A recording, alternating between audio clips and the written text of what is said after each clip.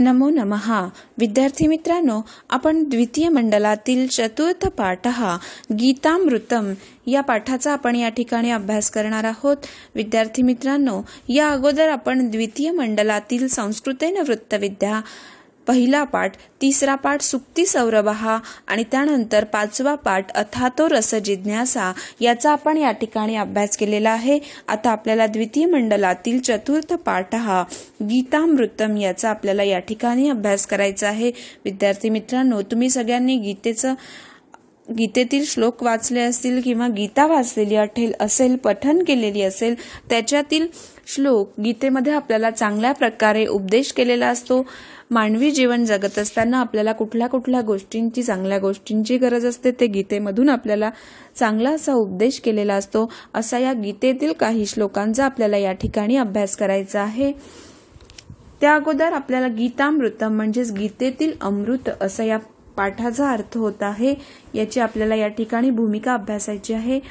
महाभारतस्य भीष्म पर्वांतर्गता श्रीमद भगवद्गीता नाम विश्वमान्य हा ग्रंथ. हा म्हणजेच महाभारतातील भीष्म पर्व याच्या अंतर्गत श्रीमद भगवद्गीता असा हा विश्वमान्य हा विश्वात प्रसिद्ध असा ग्रंथ आहे. भारतीय तत्वज्ञान मूलधारा एषा खलू एषा ग्रंथ हा. म्हणजेच खरोखर हा ग्रंथ भारतीय तत्वज्ञानाचं मूळ असं आहे. मानसशास्त्रम व्यवस्थापनशास्त्रम इत्यादीनाम आधुनिक ज्ञानशाखानां कृते अपि गीता सहाय्यकारिणी म्हणजेच मानसशास्त्र व्यवस्थापनशास्त्र इत्यादी आधुनिक ज्ञानशाखांमध्ये सुद्धा गीता ही सहकारिणी अशी सहाय्यकारिणी अशी ठरते. संप्रतिकाले म्हणजेच आत्ताच्या काळात सुद्धा जटिलायाम जीवन पद्धती म्हणजे जटिल कठीण अशा जीवन पद्धतीमध्ये गीतया उपदेश हा सम्यक मार्गदर्शन करवती म्हणजेच गीतेतील उपदेश हे आपल्याला चांगल्या प्रकारे मार्गदर्शन करीत असतात. अत्र भग भगवद्गीतायां द्वितीय तृतीयम अध्यायतः केचन श्लोकाः संगृहीता। म्हणजेच भगवद्गीतेतील द्वितीय आणि तिसऱ्या अध्यायातील काही श्लोक या ठिकाणी एकत्रित संग्रहित करण्यात आलेले आहेत. अस्माकम इंद्रियाणी चंचलाणी म्हणजेच आपले इंद्रिय हे अतिशय चंचल असे आहेत. ताणी सर्वदा ऐहिक सुखम इच्छंती म्हणजेच ते नेहमी ऐहिक सुखाची इच्छा करत असतात. मनहा अपितई कर्षितम ऐहिक सुखानी अनुधावंती आणि मन पण ऐहिक सुखाच्या मागे धावत असते. अत म्हणूनच इंद्रिय संयमेन मनोनिग्रहा करणीय.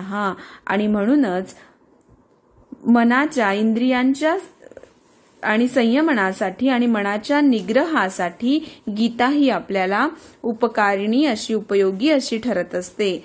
तदनुर्ते फलपेक्षया निहितम विहितम च कर्मम सतत सततम आचरवितम. म्हणजेच नेहमी काय केलं पाहिजे तर? मनाच्या निग्रहासाठी गीता ही उपयोगी ठरते. तसेच त्यात म्हटले आहे की फळाच्या अपेक्षेप्रमाणे सतत नियतम विहितम म्हणजे सतत कर्म केले कर्म करणे हे सोडू नये. म्हणजेच फळाच्या अपेक्षेपेक्षा सतत कर्म केले पाहिजे. कर्म करणे सोडू नये. परंतु कर्म केल्यावर फळ मिळेलच मिळालेच पाहिजे. ही सक्ती आपण त्याज्य म्हणजे सोडून दिली पाहिजे. आणि अशी यातून आपल्याला बोध होत असतो असा या गीतेमधून आपल्याला संदेश हा या ठिकाणी देण्यात आलेला आहे. म्हणजे महाभारतातील भीष्म पर्व याच्या अंतर्गत श्रीमद भगवद्गीता विश्वात प्रसिद्ध असा ग्रंथ आहे. खरोखर हा ग्रंथ भारतीय तत्वज्ञानाचं मूळ असं आहे. मानसशास्त्र व्यवस्थापनशास्त्र इत्यादी आधुनिक ज्ञानशाखांमध्ये सुद्धा गीता ही सह्यकारणी अशी मदतनीस उपयोगी अशी ठरत आहे.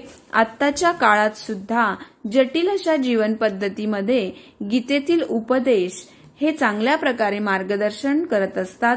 भगवद्गीतेतील द्वितीय आणि दुसऱ्या आणि तिसऱ्या अध्यायातील काही श्लोक हे या ठिकाणी एकत्रित म्हणजे संग्रहित करण्यात आलेले आहेत. म्हणजेच आपले इंद्रिय हे चंचल असे आहेत. ते नेहमी ऐहिक सुखाची इच्छा करत असतात आणि मन सुद्धा ऐहिक सुखाच्या मागे धावत असते. म्हणूनच इंद्रियांच्या संयमनासाठी मनाच्या निग्रहासाठी गीता ही आपल्याला उपयोगी ठरत असते. तसेच यात म्हटले आहे की फळाच्या अपेक्षेपेक्षा म्हणजे सतत कर्म केले गेले पाहिजे. कर्म करणे माणसाने सोडू नये. परंतु कर्म केल्यावर आपल्याला फळ मिळालेच पाहिजे ही सत्य आपण सोडून दिली पाहिजे. असा संदेश यामधून आपल्याला दिलेला आहे. आपल्याला याच्यातील श्लोकांचा काही अभ्यास करायचा आहे. महाभारतातील भीष्म पर्वात याच्या अंतर्गत श्रीमद भगवद्गीता असा हा प्रसिद्ध विश्वमान्य असा ग्रंथ आहे. आणि या ग्रंथातील भगवद्गीतेचा गीतेमध्ये काय काय सांगितलेलं आहे त्या श्लोकांचा आपल्याला या ठिकाणी अभ्यास करायचा आहे. याच्यातील पहिले आपण कर्मयोग हा म्हणजेच कर्मयोग याचा आपण या ठिकाणी अभ्यास करणार आहोत. पहिला श्लोक अभ्यासणार आहोत. सोपे अगदी सहज समजतील असे श्लोक या ठिकाणी आहेत. कर्मण्ये वा अधिकारस्ते मा फलेषु कदाचन मा कर्मफल हेतुर्भूमौ ते संगोत्सत्व कर्मणी संधी बघायची आहे कर्मण्ये वा अधिकार असते म्हणजे कर्मणी एव अधिक एव अधिक अधिकार हा अधिक ते. त्यानंतर कर्मफल हेतुर भूमई म्हणजेच कर्मफल हेतू अधिक भूहू अधिक मा कर्मफल हेतुर भूमिर्मा असं या ठिकाणी ही संधी झालेली आहे. संगोत्सव संगोत्सव कर्मणी संग अधिक अस्तु अधिक कर्माणी. कर्मणी किंवा कर्मण कर्मणी. संग अधिक अस्तु अधिक कर्मणी. अशी पहिल्या श्लोकात आपण संधी बघितली. कर्मण्येवा अधिकारस्ते मा फलेषु कदाचन मा कर्मफल ते सत्संग संगोत्स कर्मणी. याचा अन्वय आपल्याला या ठिकाणी बघायचा आहे. ते अधिकार हा कर्मणी एव फलेषु कदाचन मा कर्मफल हेतु मा भूः अकर्मणी ते संग संग हा मा असतू. अन्वय पुन्हा एकदा सांगते. ते अधिकार कर्मणी एव फलेषु कदाचन मा कर्मफल हेतु मा भूहू अकर्मणी ते संग संग हा मा असतू. याचा अर्थ होतोय हे अर्जुना तुझे नियत कर्म करण्याचा तुला अधिकार आहे. पण त्या कर्मफलावर तुझा अधिकार नाही. म्हणजे आपण माणसाने सतत कर्म केलं गेलं पाहिजे परंतु फळ मिळेलच की नाही? त्या फळावर कुठलं फळ द्यायचं यावर तुझा अधिकार नाही. तुझ्या कर्मफलास तू कारणीभूत आहेस. असे कधीही समजू नकोस. तसेच तुझे कर्तव्य न करण्यामध्येही तू आसक्त होऊ नकोस. म्हणजेच तू तुझं सतत कर्तव्य हे करत राहा. असं या ठिकाणी सांगण्यात आलेलं आहे की हे अर्जुना तुझे नियत कर्म तू कर तुला करण्याचा अधिकार आहे पण कर्मफलावर तुझा अधिकार नाही. तुझ्या कर्मफलास तू कारणीभूत आहेस असे कधीही समजू नकोस. तसेच तुझे कर्तव्य न करण्यामध्येही तू आसक्त होऊ नकोस. म्हणजेच या ठिकाणी सांगण्यात आलेलं आहे की तू तुझं कर्म हे सतत करत राहा. या ठिकाणी कर्म विकर्म आणि अकर्म अशा तीन गोष्टींच्या विचारणी आहेत. म्हणजेच प्राप्त प्रकृती गुणांनुसार केलेले कार्य म्हणजेच नियत कर्म होय. विकर्म म्हणजे शास्त्रांविरुद्ध केलेले कर्म होय. आणि अकर्म म्हणजे स्वतःचे कर्म न करणे. म्हणजेच भगवंतांनी अर्जुनाला निष्क्रिय न होता कर्म फलेच्छारा रहित होऊन आपले विहित कर्म करण्याचा सल्ला दिलेला आहे. जो आपल्या कर्मफलावर आसक्त असतो तो आपल्या कर्मा कर्मासही कारणीभूत असतो. म्हणजेच कर्माचा उपभोग घेतो किंवा त्यापासून दुःख भोगतो. नियत कर्माचा विचार केल्यास अशा प्रकारचे कर्म तीन प्रकारे विभाज विभाजित करता येतात. नित्य कर्म नैमित्तिक कर्म आणि सकाम कर्म. शास्त्रांच्या आदेशानुसार कर्तव्य म्हणून फलावर आशा न ठेवता कर्म करणे हे आवश्यक आहे असे या पहिल्या श्लोकातून सांगण्यात आलेलं आहे.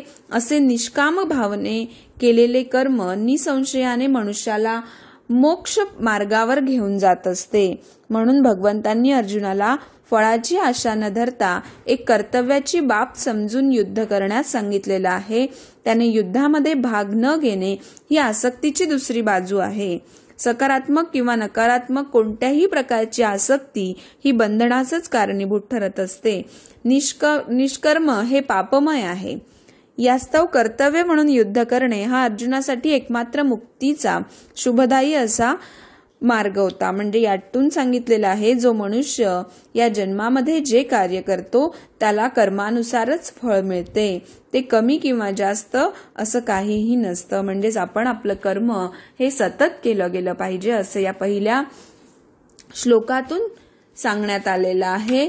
या ठिकाणी त्यांनी म्हटलेलं आहे की नेहमी आपण आपलं कर्म करण्यात कर्म तुला हे अर्जुना तुला तुझे नियत कर्म करण्याचा अधिकार आहे. पण कर्मफलावर तुझा अधिकार नाही. तुझ्या कर्मफलास तूच कारणीभूत आहेस असे कधीही समजू नकोस. तुझे कर्तव्य न करण्यामध्येही तू आसक्त होऊ नकोस. म्हणजे नेहमी आपण आपलं कर्म केलं पाहिजे काम केलं पाहिजे असं या पहिल्या श्लोकातून सांगण्यात आलेलं आहे. त्यानंतर आपल्याला दुसरा श्लोक अभ्यासायचा आहे. योगस्तः कुरु अकर्माणी सॉरी योगस्तः कुरु कर्माणी संगत त्यक्त्वा त्यक्त्वा धनंजय सिद्ध सिद्धयोः समो भूत्वा समत्वम योग उच्चते या ठिकाणी सांगितलेलं आहे या ठिकाणी संधी अशी विशेष काही नाहीये.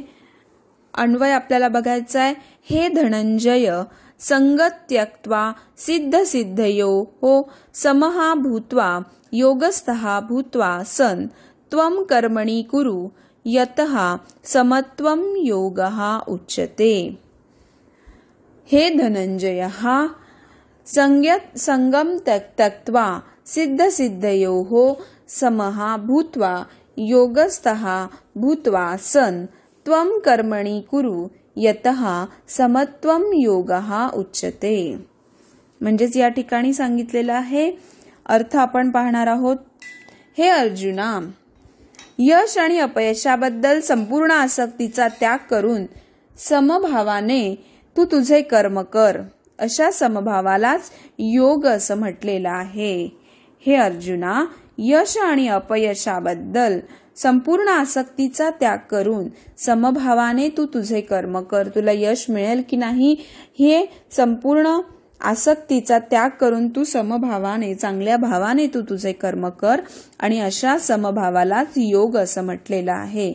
समत्वम योग उच्चते म्हणजेच अशा याला योग असं म्हटलेलं आहे. म्हणजे श्रीकृष्ण अर्जुनाला योगयुक्त कर्म करण्यास सांगतात. हा योग म्हणजेच काय? तर योग म्हणजे सदैव चंचल असणाऱ्या इंद्रियांचे नियंत्रण करून परमतत्वावर मन एकाग्र करणे होय. आणि अशा परमतत्व म्हणजेच काय? तर परमतत्व म्हणजे श्री भगवान आहेत. आणि भगवंत स्वतः अर्जुनाला युद्ध करण्यास सांगत असल्यामुळे अर्जुनाला युद्धाच्या परिणामांशी काहीही कर्तव्य नाहीये. लाभ किंवा जय. हा श्रीकृष्णांचा प्रश्न आहे. श्रीकृष्णांच्या आदेशानुसारच अर्जुनाने कार्य करण्याचा त्याला सल्ला दिलेला आहे. म्हणजे श्रीकृष्णांच्या आज्ञेचे पालन करणे हाच वास्तविक असा योग आहे. आणि याचेच पालन कृष्ण भावामृत या पद्धतीमध्ये केलेलं आहे. कृष्ण भावामृताद्वारेच मनुष्य स्वामीयत स्वामित्वाच्या भावनेचा त्याग करू शकतो. मनुष्याने श्रीकृष्णाचा सेवक किंवा श्रीकृष्णाच्या सेवकाचा सेवक बनणे अत्यावश्यक आहे. श्रीकृष्ण भावनेमध्ये कर्म करण्याचा हाच एक योग्य असा मार्ग आहे आणि या मार्गाद्वारेच आपण योगमुक्त कर्म करू शकतो. अर्जुन हा क्षत्रिय आहे. म्हणून तो वर्णाश्रम धर्म संस्थेत सहभागी होत आहे. विष्णू पुराणांमध्ये सांगण्यात आले आहे की वर्णाश्रम धर्म पद्धतीचा संपूर्ण उद्देश श्री विष्णूंना संतुष्ट करणे असा आहे. आणि या भौतिक जगातील नियमांप्रमाणे प्रत्येक जण स्वतः तृप्त होण्याचा प्रयत्न करत असतो. परंतु वास्तविकपणे मनुष्याने स्वतःची संतुष्टी न करता श्रीकृष्णांना संतुष्ट केले पाहिजे. म्हणून जोपर्यंत मनुष्य श्रीकृष्णांना संतुष्ट करत नाही तोपर्यंत तो वर्णाश्रमाच्या तत्वांचे पालन योग्य पद्धतीने योग्य रीतीने करू शकत नाही. अप्रत्यक्षपणे श्रीकृष्णांनी सांगितलेल्याप्रमाणे कारण कार्य करण्याचा सल्ला या ठिकाणी अर्जुनाला देण्यात आलेला आहे. म्हणजेच नेहमी माणसाने आपल्या इंद्रियांवर नियंत्रण ठेवावे. याला यालाच काय म्हटलं गेलं आहे समत्वम योग उच्चते म्हणजेच याला योग असं म्हटलं गेलेलं आहे. असा या ठिकाणी आपण या दुसऱ्या श्लोकाचा पण अभ्यास केलेला आहे.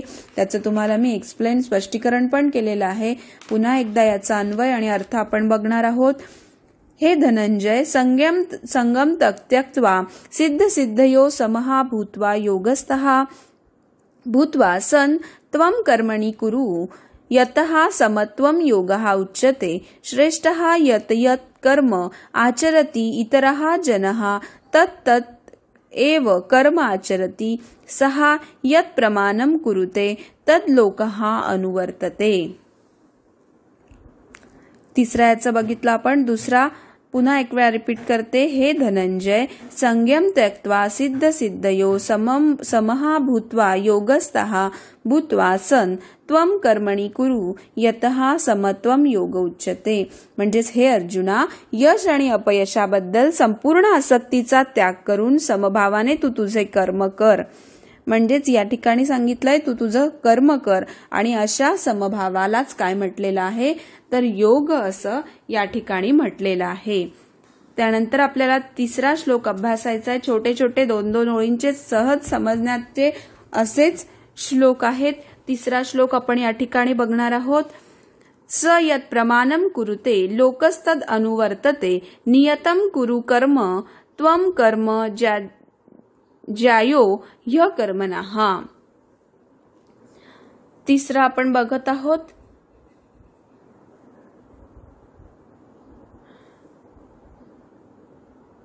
यद अचरती श्रेष्ठ देवो स यत प्रमाणम कुरुते लोकस्तद अनुवर्तते. यदाच आचरती श्रेष्ठ देवोत्तरो जनः स तद यत प्रमाणम कुरुते लोकस्तद अनुवर्तते. म्हणजेच या ठिकाणी त्यांनी म्हटलेलं आहे यदाचरती श्रेष्ठ जनो श्रेष्ठस्त देवोत्तरोष याची संधी कशी येईल? श्रेष्ठ हा अधिकतत अधिकतत अधिक एव अधिक इतर अधिक जन असं श्रेष्ठस्तर देवोत्तर. म्हणजे श्रेष्ठ अधिक तत् पुन्हा एकदा तत् मग अधिक एव अधिक इतर अधिक जन. अशी या ठिकाणी याची संधी आलेली आहे. तिसरा याचा आपण अन्वय बघणार आहोत. श्रेष्ठ यत यत कर्म आचरती इतर जन तत् तद एव कर्म आचरती. सहा यत प्रमाणम कुरुते तत् लोक अनुवर्तते. तिसरा याचा आपण या ठिकाणी अन्वय अभ्यासलेला आहे. तिसऱ्या याचं पुन्हा एकदा आपण अन्वय अभ्यासून मग आपण ट्रान्सलेशनकडे वळणार आहोत. श्रेष्ठ हा यत यत कर्म आचरती इतर हा जन तत् तद एव कर्म आचरती. सहा यत प्रमाणम कुरुते तत् लोक अनुवर्तते. म्हणजे श्रेष्ठ व्यक्ती जे जे करते त्याचे अनुसरण सामान्य जण करतात. आपल्या अनुसरणीय कृत्यांनी ती जे जे आदर्श घालून देते त्यानुसार सारे जग ते आदर्श किंवा ते कार्य असं करत असते. म्हणजेच या ठिकाणी म्हटलेलं आहे की श्रेष्ठ लोक जसे करत असतात त्याप्रमाणे सगळेजण कार्य करत असतात. म्हणजे श्रेष्ठ माणूस जे जे करतो त्याच्यानुसार संपूर्ण जग हे आचरण करत असते. म्हणजेच या ठिकाणी भगवद्गीते या ग्रंथातून हा गीतामृत या पद्यपाठातून हा श्लोक घेण्यात आलेला आहे. म्हणजे सामान्य जणांना अशा ने अशा नेत्याची नेहमी गरज असते जो व्यावहारिक आचरणाद्वारे लोकांना शिक्षित करू शकतोय. म्हणजे ज्याचं व्यावहारिक आचरण हे नेहमी चांगलं असेल आणि त्यानुसार तो लोकांना शिक्षित करू शकतो आहे. म्हणजेच जर एखादा नेता स्वतः धूम्रपान करीत असेल तर तो लोकांना धूम्रपान बंद करा असं शिकवू शकत नाही. एखाद्या शिक्षकाने शिकवण्यास प्रारंभ करण्यापूर्वी योग्य वर्तन केले पाहिजे. जे या प्रकारे शिकवितो त्याला आचार्य किंवा आदर्श शिक्षक असं म्हणतात. म्हणून सामान्य लोकांना शिक्षित करण्यासाठी शिक्षकाने शास्त्रानुसार तत्वांचं पालन करणे आवश्यक आहे. एखादा शिक्षक हा प्रमाणित शास्त्रांच्या तत्वांचे पालन करणे अत्यावश्यक आहे. एखादा शिक्षक हा प्रमाणित शास्त्रांच्या तत्वांविरुद्ध कोणतेही नियम निर्माण करू शकत नाही. मनुसंहिता त्याचप्रमाणे इतर शास्त्रांना मानव समाजाने पालन करणे योग्य असे आदर्श ग्रंथ मानले पाहिजेत. म्हणजेच मनु संहितेमध्ये मनुस्मृतीमध्ये चांगले चांगले असे संदेश दिलेले आहेत. त्यानुसार आपण आचरण केले पाहिजे. त्या ग्रंथांना आपण आदर्श मानले पाहिजे. म्हणूनच नेत्याची शिकवण ही आदर्श शास्त्रांच्या सिद्धांतावर आधारित अशी असली पाहिजे. जो स्वतः उत्पन्न होऊ इच्छितो त्याने महान आचार्यांच्या अनुसरण केलेल्या आदर्श अशा सिद्धांतांचे पालन करणे असे आवश्यक आहे. आणि श्रीमद भगवद्गीतेतही निश्चितपणे हेच सांगितलेले आहे की मनुष्याने महान अशा भगवत भागवत भक्तांच्या पावलांचे अनुसरण करणे हे आवश्यक आहे. आध्यात्मिक साक्षात्काराच्या पथावरील प्रगतीचा हाच योग्य असा मार्ग आहे. राजा किंवा राज्याचा प्रमुख असा कार्यकारी प्रशासन पिता शालेय शिक्षक या सर्वांना सामान्य साध्या भोळ्या निष्पाप अशा लोकांचे स्वाभाविक नेते मानण्यात येते. या सर्वां या सर्व स्वाभाविक नेत्यांवर त्यांच्यावर अवलंबून असणाऱ्या लोकांची मोठी जबाबदारी असते. आणि यासाठीच त्यांनी नैतिक आणि आध्यात्मिक संहिता असणाऱ्या अशा सर्व आदर्श ग्रंथांमध्ये पारंगत असणे आवश्यक आहे. म्हणजे स्वतः जर आपण एखादा नेता जर हा चांगला असेल तर तो इतरांना सामान्य प्रजेला चांगलं घडवू शकतो किंवा ज्ञान देऊ शकतो. त्याचप्रमाणे एखादा शिक्षक याला जर त्याने स्वतः चांगल्या गोष्टींचं स्वतःमध्ये अनुकरण केलं आणि मग त्याचं बघून त्याचे छात्र विद्यार्थी हे पण त्याचं अनुकरण हे करत असतात. म्हणून प्रशासक पिता कार्यकारी प्रमुख राजा तसेच शालेय शिक्षक यांनी सगळ्यांनी चांगल्या प्रकारे आचरण केलं पाहिजे चांगल्या ग्रंथांचं वाचन केलं पाहिजे. म्हणजेच त्यांच्याप्रमाणे सामान्य लोक हे अनुकरण करत असतात. म्हणजे जग हे अनुकरण करणारे असते. म्हणूनच श्रेष्ठांनी आपले श्रेष्ठत्व हे कधीच सोडू नये. त्यांनी नेहमी चांगल्या प्रकारे आचरण केलं गेलं पाहिजे असं गीतेमधून या तिसऱ्या श्लोकाचं आपण भाषांतर बघितलंय.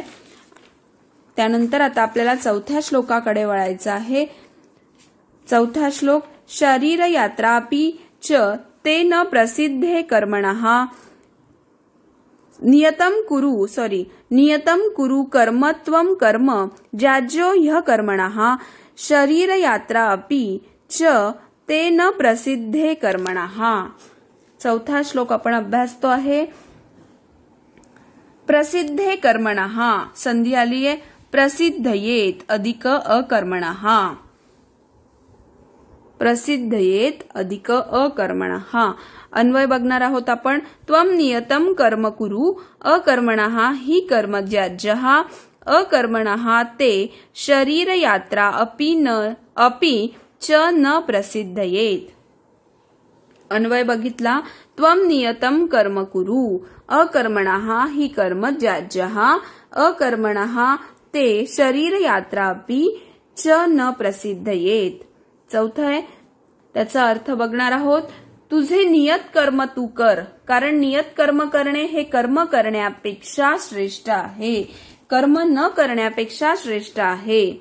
कर्म केल्या वाचून मनुष्य आपल्या शरीराचाही निर्वाह करू शकत नाही. म्हणजे तू तुझं नियत कर्म कर कारण नियत कर्म करणे हे कर्म न करण्यापेक्षा श्रेष्ठ आहे. कर्म केल्या वाचून मनुष्य आपल्या शरीराचाही निर्वाह करू शकत नाही असं या ठिकाणी म्हटलेलं आहे. म्हणजेच तू तुझं कर्म हे नेहमी कर. म्हणजेच असे पुष्कळ भोंदू योग्य आहेत जे स्वतःला उच्चकुलीन असल्याचा दर्शवितात. म्हणजेच आध्यात्मिक जीवनातील प्रगती करता आपल्या सर्वस्वाचा त्याग केल्याचा दिखावे करणारे अनेक मोठे मोठे व्यावसायिक पण आहेत. अर्जुनाचेही मिथ्याचारी अर्जुनानेही मिथ्याचारी व्हावे म्हणजे खोटार व्हावे अशी श्रीकृष्णाची इच्छा नव्हती. म्हणजे श्रीकृष्णाला असं वाटत होतं की अर्जुने मिथ्याचारी होऊ नये म्हणजे खोटं बोलणारे होऊ नये असं श्रीकृष्णांना वाटत होतं. म्हणजे त्यांची इच्छा नव्हती की याने खोटारडे व्हावे. याउलट श्रीकृष्णाची इच्छा होती की अर्जुनाने क्षत्रियांसाठी सांगण्यात आलेले नियत कर्म करावे. अर्जुन हा गृहस्थ आणि सेनापती होता.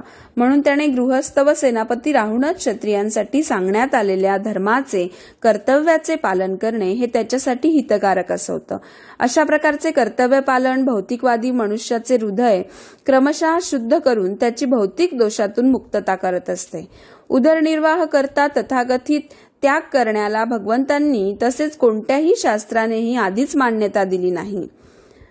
आणि म्हणून सरते शेवटी प्रत्येकाला आत्मा आणि शरीर एकत्र ठेवण्यासाठीही काहीतरी कर्म करावं लागते. भौतिक प्रवृत्तीतून शुद्धीकरण झाल्या वाचून लहरी खातर कर्मत्याग करणे उचित नाही. भौतिक जगात असणाऱ्या प्रत्येक व्यक्तीमध्ये प्रभुत्व गाजविण्याची मलिन प्रवृत्ती निश्चितच असते. किंवा दुसऱ्या शब्दात सांगायचे झाल्यास इंद्रिय तृप्ती करण्याची ही मलिन प्रवृत्तीही असतेच. अशा दूषित प्रवृत्ती नाहीशी करणे आवश्यक आहे आणि नियत कर्माद्वारे असे केल्या वाचून मनुष्याने कर्मसन्यास घेऊन दुसऱ्याच्या जीवावर राहून तथाकथित अध्यात्मवादी होण्याचा कधीही प्रयत्न करू नये. म्हणजेच आपले नियमित कर्म आळस सोडून नियमितपणे करावे असे या चौथ्या श्लोकातून सांगितलेलं आहे. त्यानंतर आता आपल्याला पाचवा कर्मयोग हा याच्यातला आपल्याला पाचवा आणि शेवटचा श्लोक अभ्यासायचा आहे. तस्माद सक्त सततम कार्यम कर्म समाचर असक्तो ह्या चरण कर्म परम आपनोती पुरुषा. या ठिकाणी यांनी पाचव्या याच्यामधून अन्वय सांगितलेला आहे. तस्मात असक्त हा सन सततम कार्यम कर्म समाचर असक्त हा सन कर्म आचरण पुरुषा ही परम आपणोती. याचा या ठिकाणी अर्थ आहे म्हणून कर्मफलावर आसक्ती न ठेवता मनुष्याने सतत कर्तव्य म्हणजेच कर्म केलं पाहिजे. कारण अनासक्त होऊन कर्म केल्याने त्याला परमेश्वराची प्राप्तीही होत असते. असं या पाचव्या याच्यातून सुभाषित सॉरी या गीतेमधून हा श्लोक आलेला आहे म्हणजे सतत तू कर्मावर आसक्ती न ठेवता मनुष्याने सतत कर्म केले गेले पाहिजे. म्हणजेच भक्तासाठी पुरुषोत्तम श्री भगवान श्रेष्ठ आहेत. म्हणजेच पुरुषोत्तम हे सगळ्यात श्रेष्ठ आहेत. आणि म्हणून सतत निर्वेश निर्वेशवाद्यांसाठी मोक्ष किंवा मुक्तीचा मार्ग हा सगळ्यात श्रेष्ठ असा सांगितलेला आहे. आणि म्हणूनच या ठिकाणी सांगण्यात आलेलं आहे की जो मनुष्य योग्य मार्गदर्शनाखाली कर्मफलावर आसक्ती न ठेवता म्हणजेच त्याने कर्मफलावर आसक्ती ही सतत ठेवली पाहिजे. आणि म्हणून श्रीकृष्णा प्रित्यर्थ किंवा कृष्ण भावनेने कर्म करीत असतो तो निश्चित जीवनाच्या सर्वश्रेष्ठ ध्येयाप्रत प्रगती करत असतो. कुरुक्षेत्राच्या युद्धामध्ये अर्जुनाला श्रीकृष्णां प्रित्यर्थ युद्ध करण्यास सांगण्यात आलेले होते. कारण त्याने युद्ध करावे अशी श्रीकृष्णांची इच्छा होती. सज्जन असणे किंवा अहिंसक असणे ही वैयक्तिक आसक्तीची अशी बाब आहे. परंतु परमेश्वर प्राप्तीसाठी परमेश्वरासाठी कर्म करणे म्हणजेच फलाची अपेक्षा न ठेवते कर्म करणे होय. पुरुषोत्तम भगवान श्रीकृष्णांनी सांगितलेले कर्म म्हणजे सर्वोच्च दर्जेचे परिपूर्ण असं कर्म होय. यज्ञकर्मांसारखी वैदिक कर्मकांडे ही इंद्रिय तृप्तीच्या क्षेत्रात केलेल्या पापकर्माचे शुद्धीकरण होण्यासाठी केली जातात.